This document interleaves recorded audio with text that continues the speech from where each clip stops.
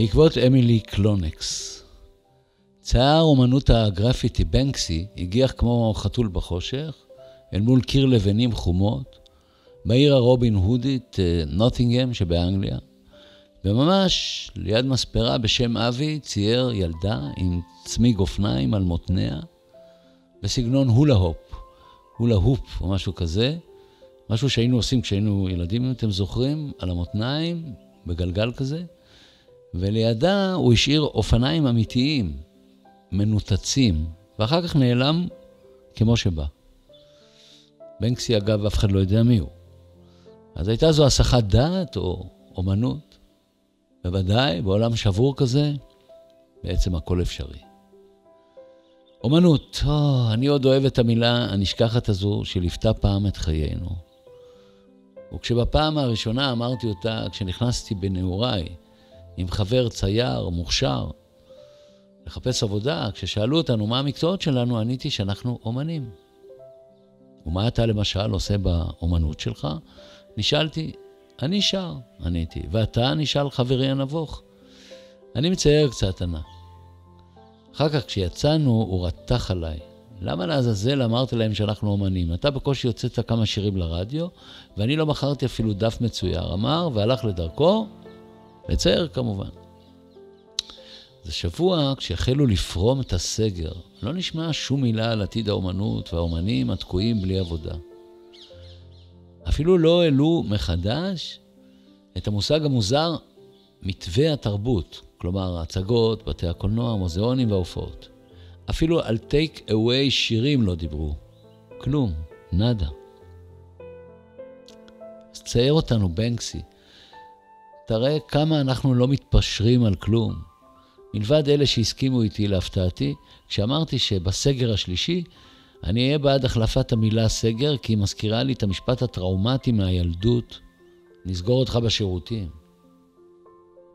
בכל מקרה, כדי להתעודד, דיווח לי אלעדיק מדי יום על תנודות השוק העולמי, מהן ניסה להבין אם החיסון של חברת התרופות פייזר מתקרב לדצמבר.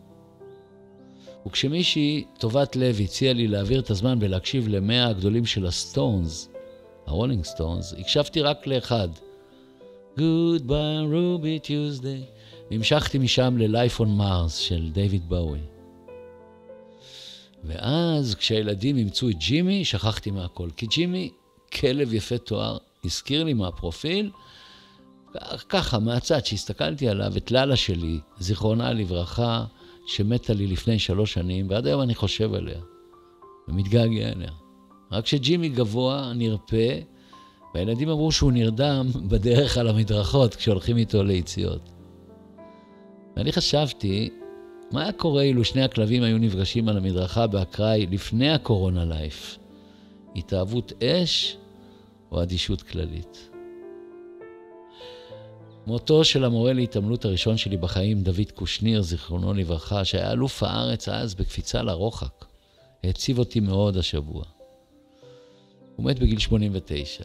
הוא היה עושה לנו מופעי קפיצה בהפסקות, בבית ספר. פעם אני חושב שהוא קפץ כל כך רחוק עד שנעלם מבור הקפיצה בחצר בית הספר.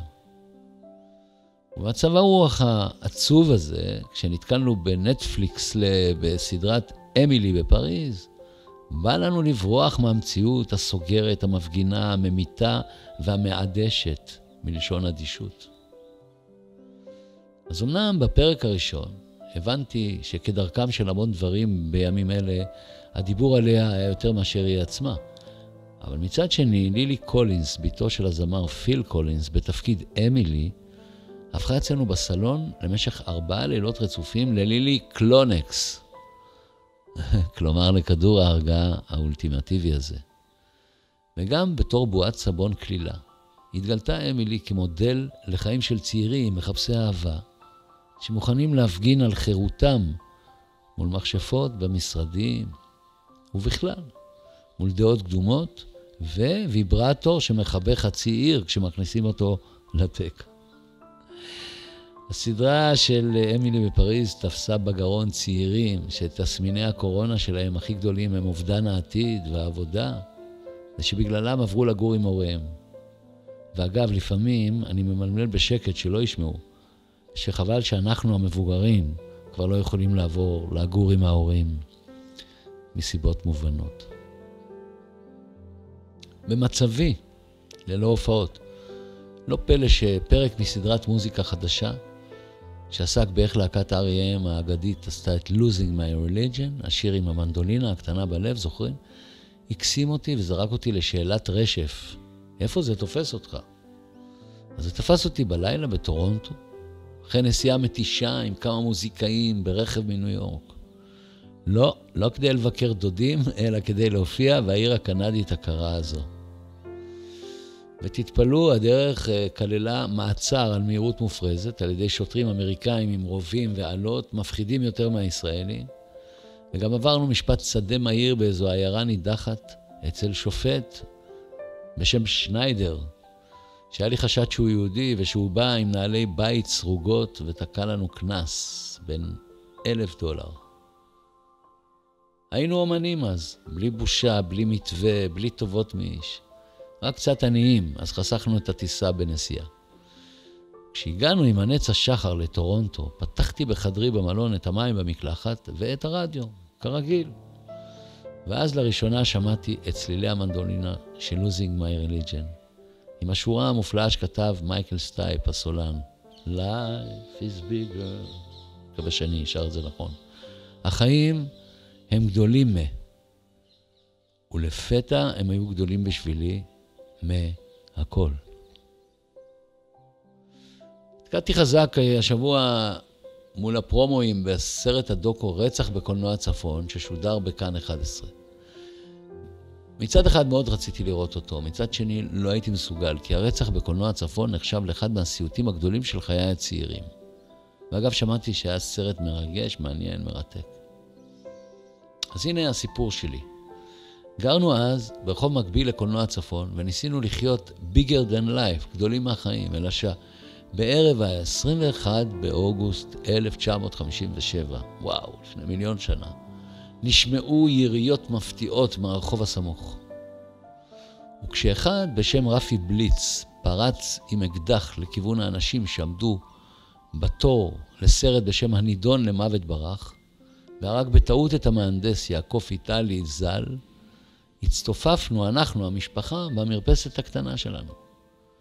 אבא כמובן היה בגופייה, אמא ישנה סיגריות אסקוט, אחותי ישנה בעריסה ואני השקפתי על השכנים ששיחקו רמי קלפים על המרפסת ממול, כי לא הייתה עדיין טלוויזיה. ואז בשנייה אחת הרחוב השתנה. ולפתע ראיתי אנשים רצים באמוק אחרי דמות מפחידה. ואחר כך הכל קפא בשקט מותח, והלכתי לישון ובקושי נרדמתי. ולמחרת, כשהתפזרה השמועה ברחבי השכונה, שרצחו על אמת בן אדם בקולנוע שלנו, ועוד בקופה שליד רחבת השיש שעליה התחרנו בסקטים, נכנסתי לחרדות. כי אז, שלא כמו היום, רצחו רק מעט אנשים ונשים. באמת זמן רב נמנעתי מלעבור ליד בית הקולנוע שעיצב את חיינו עם סרטים כמו פאני ואלכסנדר השוודי, או אקסודוס עם פול ניומן, הברד פיט של הימים ההם. ולימים קולנוע צפון האגדי נגרס לטובת בית דירות, כשעוד קודם סגרו אבא ואימא שלי בשיפוץ מהיר את המרפסת הקטנה שלנו בתואנה שאם עוד פעם יישמעו יריות לפחות לא ניפגע. אבל האמת בינינו, הייתה שזה היה לטובת הגדלת הסלון, כי כך עשו כולם. יודעים מה מבאס עכשיו בין השאר? לפחות אותי, זה אובדן אנשי הנוף. אנשי הנוף אלה שהיינו פוגשים במקרה ברחוב, בבית הקפה, בחנות האופניים, אפילו כולל אלה שלא ממש שמחנו לפגוש. אני שומע הרבה על גל קשרים שנפרמים בין חברים בחסות הקורונה. אבל הנה סיפור פלאי הפוך. חברה שלי, רופאת ילדים נפלאה, עברה במכוניתה ברחוב ברמת גן. כשראתה לפתע רוכב אופנוע קורס עם דום לב, קפצה ממכוניתה, עשתה לו החייאה והחזירה אותו לחיים המוזרים האלה. אז גם זה קורה בימי הקורונה האלה, חוץ ממריבות אחים, חוסר אמון, ביידן טראמפ ותלמוד תורה מול נעמי שלנו, שלא חזרה ללמוד. חוץ מזה, חברתי הרופאה כבר אומרת לי חודשים, תיקח ויטמין D, כי הקורונה אולי מפחדת ממנו, ואם לא יועיל, לא יזיק. אז אני לוקח, קחו גם. אחרי אמילי קלונקס בפריז ברחתי לסדרת מתח מלחמתית נורבגית בשם Occupied. אלא שבעונה השנייה שלה, הפתעה, נפסק לפתע התרגום לעברית ונתקעתי בלי להבין כלום. אולי תלמד נורבגית, הציע אלעדיק. נורבגית, אמרתי, בוא נלמד קודם את החיים עכשיו, ונתרכז בחמלה ולא במלחמה. באומנות ובסבלנות, עד שהחיסון יגיע. ככה הצעתי לו, וחייכנו לרגע, אבל קצת. זהו, בעקבות אמילי קלונקס, בפריז ובכל השאר. שיהיה לכם שבת שלום, הרבה בריאות, שלמה ארצי.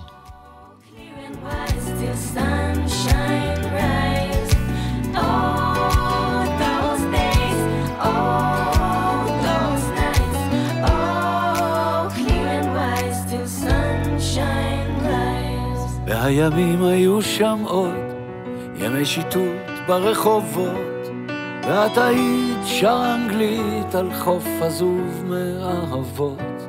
חשבתי שלא תדבר, לחשת לי שם בלונד רדד הר.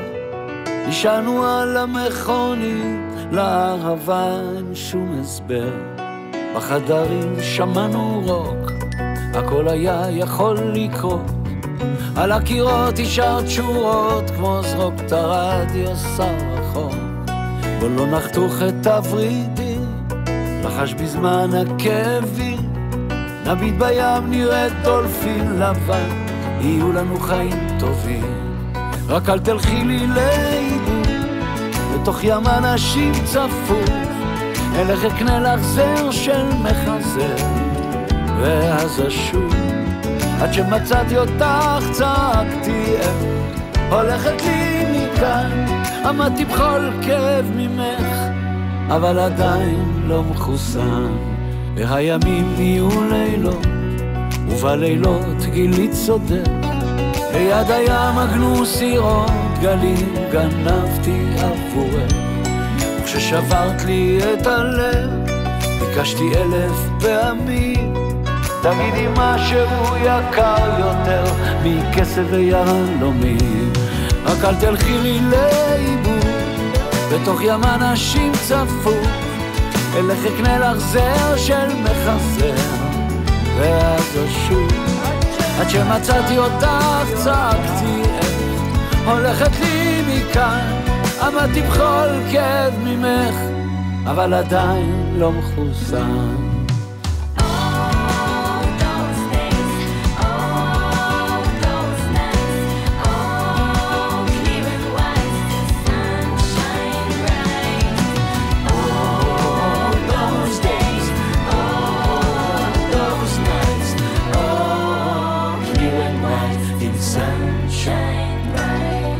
והימים נהיו שותקים, עצוב נורא כשמתרחקים.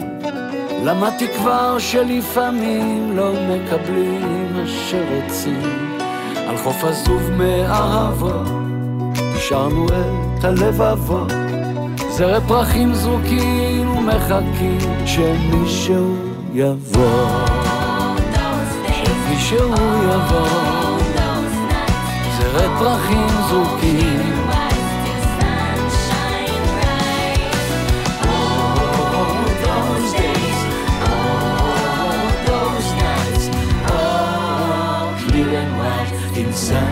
shine.